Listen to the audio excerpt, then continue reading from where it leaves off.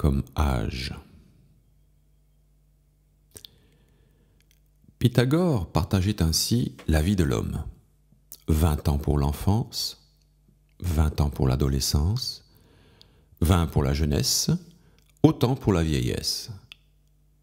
Ces différents âges correspondant aux saisons, l'enfance au printemps, l'adolescence à l'été, la jeunesse à l'automne et la vieillesse l'hiver.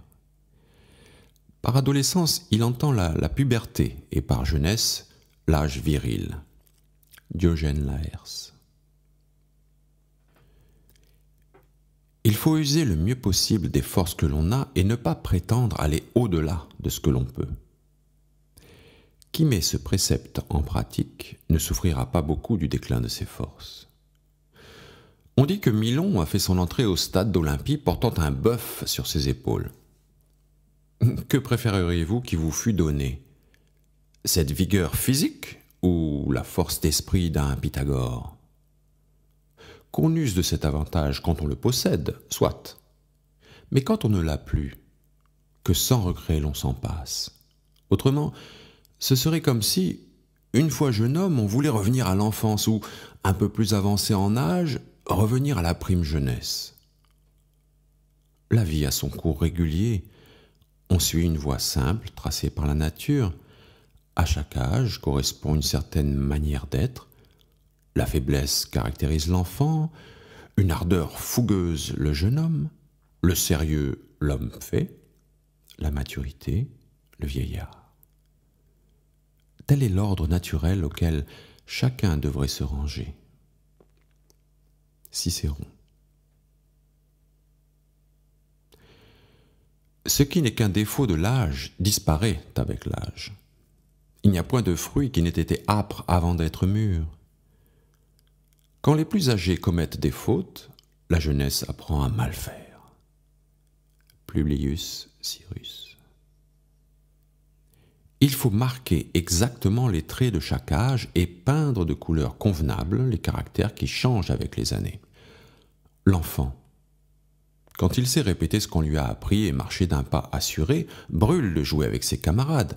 Il se met en colère et se calme sans motif. Il change à tout instant.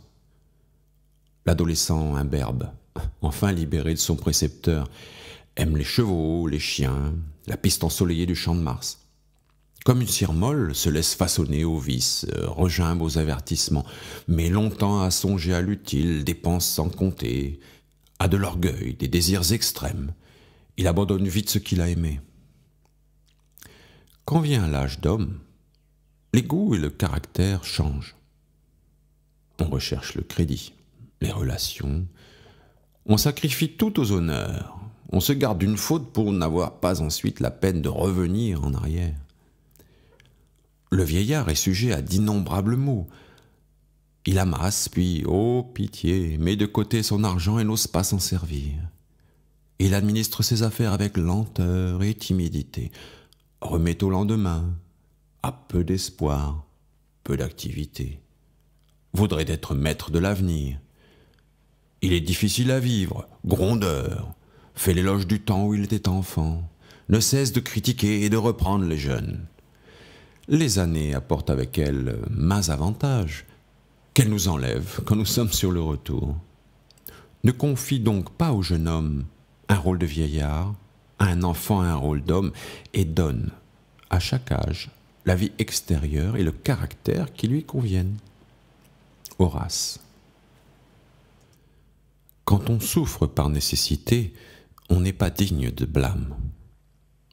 Mais Aller au-devant de la peine, devenir son propre bourreau, c'est mériter de perdre des biens dont on ne sait pas faire usage. Songe à ton âge, ouvre ton âme au plaisir. Marche à la clarté d'un flambeau pendant ces nuits consacrées à la joie, que Bacchus dissipe tes ennuis. Jouis de la jeunesse, douces années qui passent trop vite. Le cœur est tendre alors, c'est le temps de l'amour. Que tes sens se réveillent, pourquoi ces nuits solitaires? L'austérité convient mal aux jeunes gens. Lâche les rênes. Ne laisse pas t'échapper les meilleurs jours de ta vie. Un Dieu a tracé les goûts et les devoirs de chaque âge. Il a mis la gaieté sur le front du jeune homme, l'austérité sur celui du vieillard. Pourquoi te contraindre et étouffer les bons penchants que tu dois à la nature? Sénèque. Je pleure, hélas, sur ma jeunesse, sur ma triste vieillesse, sur celle-ci parce qu'elle vient, sur celle-là parce qu'elle s'éloigne. Théonis de Mégare. Voici un conseil commun à tous. Tandis que les hommes ont la fleur de la jeunesse et d'heureuses pensées dans leur esprit, qu'ils fassent servir à leur bonheur le bien qu'ils possèdent. Les dieux n'ont pas donné aux mortels de rajeunir ni de se dégager des liens de la mort. Il leur faut céder à la terrible vieillesse lorsqu'elle vient fondre sur leur tête. Théonis de Mégare.